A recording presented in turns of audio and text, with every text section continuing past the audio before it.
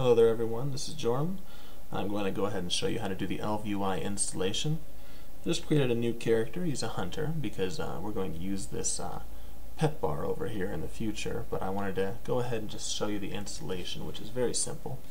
Um, you're going to do this with every new character. It's a process that they just need to go through real quick. It should just take about a minute or so. Uh, it's worth the time to do.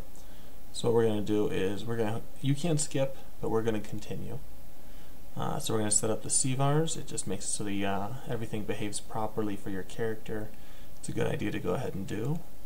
Uh, then we're going to set up chat. Uh, now the fun thing about chat is this left bar will go ahead and stay here. You can get rid of it, but you know we don't want to. But this right bar will disappear if we don't do this step. Uh, you can get it back, but you have to do a few setting changes. So what we're going to do is we're just going to set up chat and you'll notice that loot and trade showed up here. So that's basically anchors this.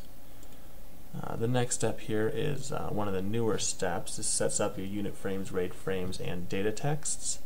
Uh, so since this is a hunter you have melee DPS and caster I'm going to go ahead and call him a caster because he's ranged. I'm going to set up a melee for the second just in case. And that's pretty much it. It's a real simple setup uh, so we're just going to hit finish and a loading screen will come up. This will reload the user interface.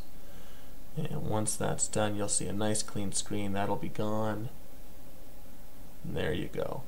It's a pretty simple setup. Um, this is just the basics. Um, and I wanted to go ahead and open this up to credits. And I'm always going to thank, at the end of each of these videos, I'll go ahead and thank uh, Tukz, Haste, Nightcracker, Omega 1970, and Hydrazine, as well as all the testers and donors who help keep UI running. So thanks to all you guys, and we'll see you in the next episode.